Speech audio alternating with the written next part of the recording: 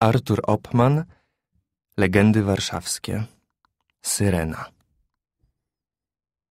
A widzieliście ją, tę syrenę niby, kumie Szymonie? Widzieć nie widziałem, kumie Mateuszu, bo drzewa przesłaniały źródełko, a bliżej podejść bałem się jakości, alem słyszał jak śpiewa. Alboż to syreny śpiewają? Jakże to? Nie wiecie o tym, kumie Mateuszu? Śpiewają. Jak jeszcze?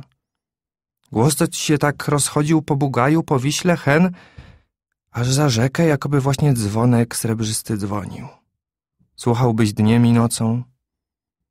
No i co dalej, co dalej? A no nic dalej, słuchałem, słuchałem, lubość mi się jakowaś rozpływała po kościach, aż w końcu śpiewanie ucichło. Widać, syrena schowała się na nocleg w źródełku, bo już i słońce zachodziło, a ja powlokłem się do chaty, alem całą noc spać nie mógł i nam o tej syrenie rozmyślał. Ciekawość. Warto by ją wypatrzeć, zobaczyć. Ale jak? To ci, jeśli nas ujrzy, umknie i skryje się we wodzie, a zresztą może to i grzech przyglądać się takowej stworze niechrzczonej i kuszącego jej śpiewania słuchać? Grzech, nie grzech, nie wiada. Najlepiej zapytać o to ojca Barnaby, pustelnika. To człowiek mądry i pobożny. On powie i nauczy, co czynić nam należy. Rzetelnie mówicie, kumie Mateuszu. Chodźmy do pustelnika Barnaby. Ano, to i chodźmy. Ryby przez ten czas z Wisły nie uciekną, a my się od duchowej osoby przeróżności dowiemy. Tak rozmawiali z sobą dwaj rybacy z Nadwisły w owych zamierzchłych czasach, gdy na miejscu dzisiejszej Warszawy, a właściwie jej powiśla, leżała niewielka rybacka osada, otoczona gęstymi lasami, w których roiło się od grubego zwierza, łosi, turów, wilków i niedźwiedzi. Więc powiadacie, że śpiewała. A już ci śpiewała, gadałem przecie. Hmm. I często se tak podśpiewuje? A co dnia? Jak tylko słoneczko Boże ma się ku zachodowi, czerwienią a złotem pomaluje wisełkę, wraz ci się na bugaju jej piosenka rozlega. I długo też nuci? Do zachodu. Jak się ino ciemno zrobi na świecie, już jej nie słychać. To nocami nigdy ze źródła nie wychodzi?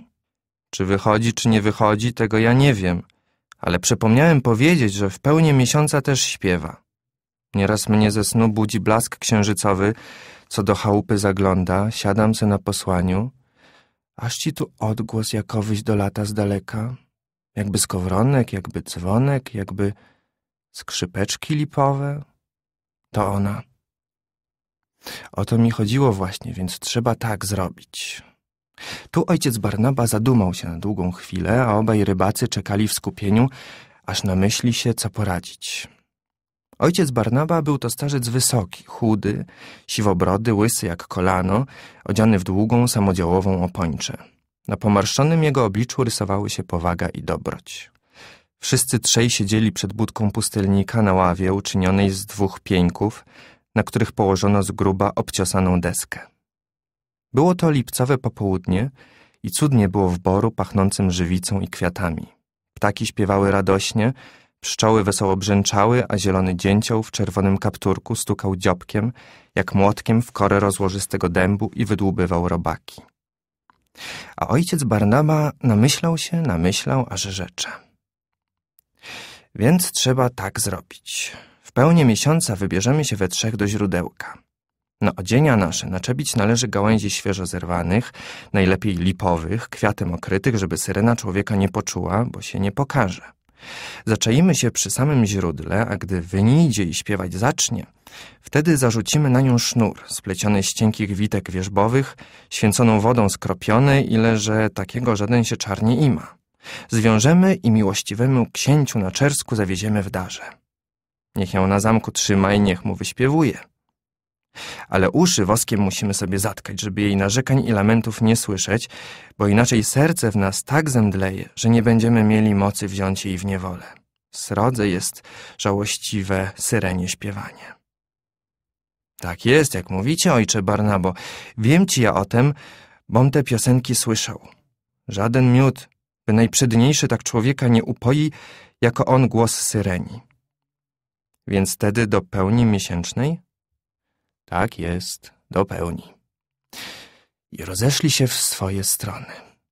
Rybacy nad Wisłę do zarzuconych sieci, a ojciec Barnaba na modlitwę. Tam, gdzie dziś, nad samym prawie wybrzeżem Wisły, poniżej starożytnych kamienic Starego Miasta, rozciąga się ulica, Bugaj zwana, przed wielu, wielu laty szumiał las zielony, odwieczny. W lesie tym z pagórka wznoszącego się nad rzeką tryskało źródło i rozlewało się w głęboki, bystro płynący potok. Nad potokiem rosły białokore brzozy, wierzby pokrzywione maczały, w nim długie gałęzie, kwitnęły polne róże i niezapominajki haftowały niebieskimi kwiatkami zielony traw kobierzec.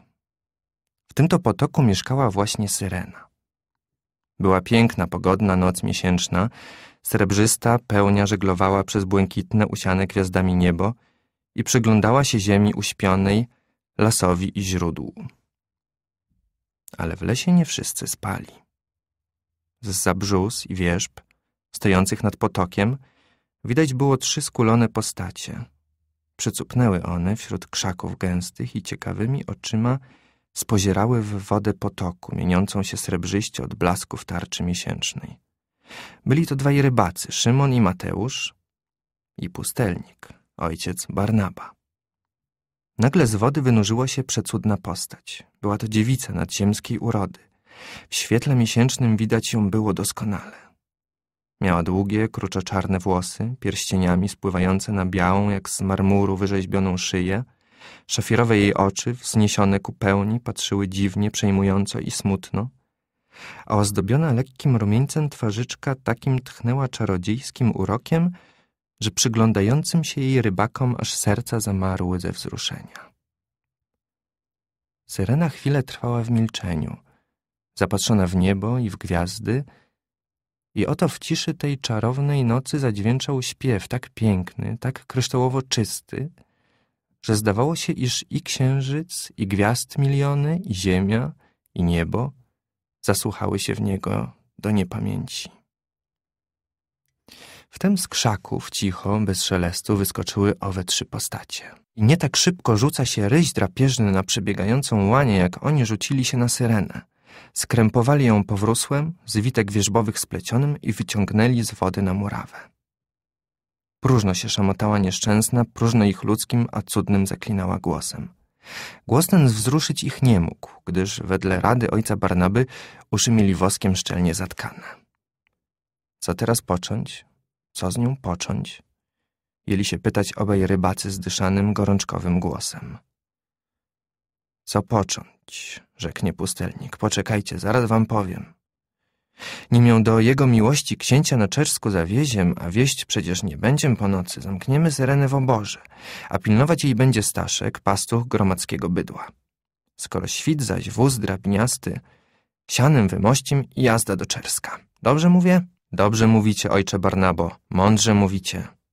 Miesiąc świecił tuż nad polanką, gdzie rybacy złożyli skrępowaną syrenę i widać ją było wybornie. Do pasa była to, jak się już rzekło, panna nad podziw urodziwa. Od pasa zasie ryba srebrzystą łuską błyszcząca. Leżała biedna bez ruchu, z zawartymi, cudnymi oczyma, ręce wzdłuż ciała opuściwszy i tylko rybi ogon, długi, agientki, uderzał kiedy niekiedy w ziemię, zupełnie jak u wyjętego z wody karpia lub szczupaka. Czas nam w drogę, przemówił pustelnik. Bierzcie ją. Szymon i Mateusz dźwignęli syrenę i ponieśli ją w stronę wioski. Otwieraj, Staszku. Otwieraj, no, co prędzej, cóż to? Zarżnęli cię zbóje, że się nie uruszasz? Nie gramol się, gamoniu, skorzej, skorzej! I rozległy się głośne uderzenia krzepkich pięści Szymona i Mateusza we wrota obory. Oni to bowiem wraz z pustelnikiem Barnabą dobijali się uporczywie do wielkiego, drewnianego budynku, w którego ścianach przez wyrzezane otwory widać było rogate łby i mokre pyski licznych krów. A co tam? Kto tam? To ci idę już, idę. A któż to tam tak łomoce po nocy? Pali się, czy co takiego? Zaszurgał ktoś bosymi nogami, odezwało się szerokie ziewnięcie. W ciemnościach niepewna ręka szukała zawory, znalazła ją, otwarła, skrzypnęły wrota i z mroku wynurzyła się gibka, młodzieńcza postać pastucha Staszka. Wszelki duch Pana Boga chwali, a czego to chce ta ojcze Barnabo i wy Szymonie i Mateuszu? Cichaj, syrena. O, widzisz? Syrena. Złapaliśmy ją. Niechaj tu przeleży do rana o świcie, do Czerska ją zawieziem, do księcia. Syrena? Jezusie, Maryjo, prawda. Jakaż ona śliczna. Nie prawiłbyś byle czego, śliczna. Czarownica, wiadomo.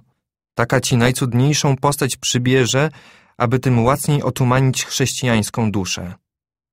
Boże miły, prawdę mówicie?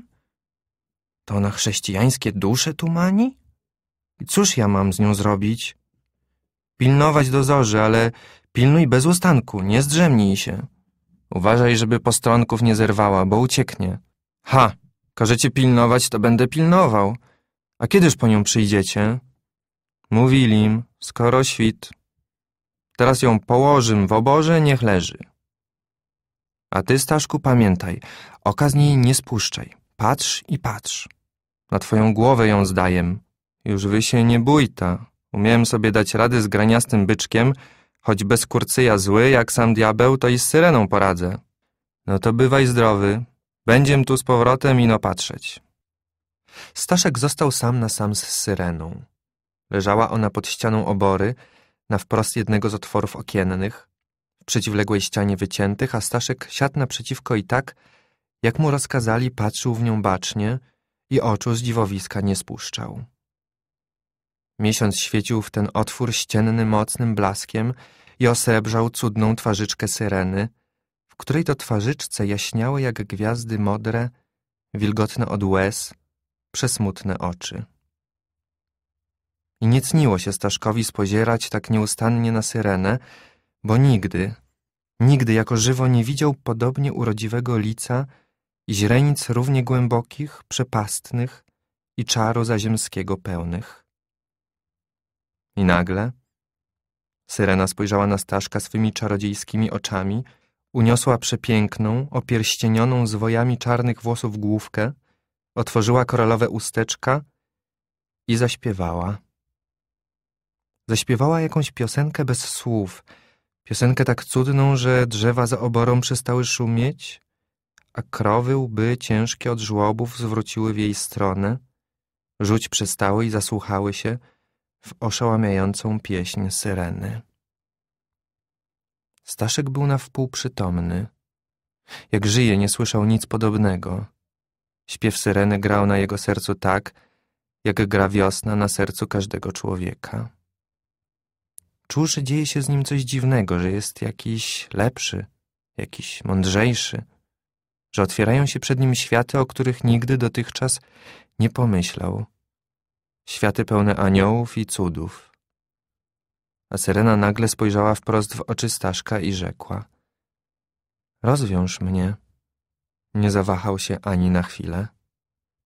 Podszedł ku Syrenie i kozikiem rozciął krępujące ją postronki a dziwowisko ślicznymi rączkami objęło go za szyję i szepnęło Otwórz wrota i chodź za mną. Usłuchał. Otworzył wrota na ścieżaj i czekał, co się stanie. Nie czekał długo. Syrena uniosła się ze słomy, na której leżała i skacząc na swoim rybim ogonie, przeszła przez wrota i skierowała się w stronę Wisły. Szła i śpiewała, Krowy wyciągnęły za nią łby i poczęły ryczeć żałośnie, drzewa szumiały do wtóru piosence syreniej, a szumiały tak smutnie, aż niebo drobnymi łzami sypać jęło i zachmurzyło się ponuro. A Staszek, jak urzeczony, szedł za nią, szedł za nią, bez woli, bez myśli. Ustał deszcz, wybłysnęło słońce. Z chałup wychodzili ludzie i ze zdumieniem patrzyli na widok tak nadzwyczajny. A Syrena szła i śpiewała a gdy już była tuż, tuż nad brzegiem Wisły, odwróciła się, spojrzała ku wiosce i zawołała na głos cały. Kochałam cię, ty brzegu wiślany, kochałam was, ludzie prości i serca dobrego, byłam waszą pieśnią, waszym czarem życia.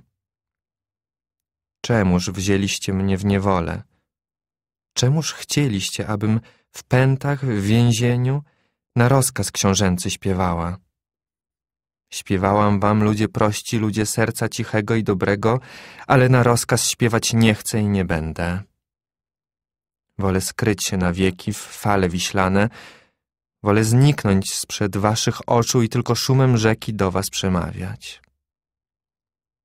A gdy przyjdą czasy ciężkie i twarde, czasy, o których nie śni się ani wam, ani dzieciom i wnukom dzieci waszych, śnić się jeszcze nie będzie, wtedy, w lata krzywdy i klęski, szum fal wiślanych śpiewać będzie potomkom waszym o nadziei, o sile, o zwycięstwie. A tu tymczasem pędem od wioski lecą ku brzegowi obaj rybacy i pustelnik stary i krzyczą Łapaj, trzymaj, nie puszczaj! Ale, nie puszczaj! Już ci syrena chlub. Do wody, a za nią w te pędy Staszek. Skoczył, wychynął z rzeki, rozejrzał się dokoła, zawołał Bóg z wami! I zniknął. Minęły lata i wieki. Na miejscu wioski miasto powstało ludne, bogate, warowne. A miasto owo, później stolica, na pamiątkę dziwnej przygody z syreną wzięło ją za godło swoje.